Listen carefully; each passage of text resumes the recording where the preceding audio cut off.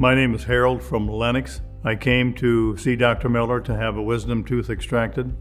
Plus, he did an implant for me. Dr. Miller is very personable and makes sure you understand the procedure before he begins.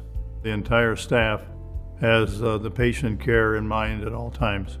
Every procedure that I've had done went very well. My recovery was very quick and easy, and uh, the follow up by the staff was excellent.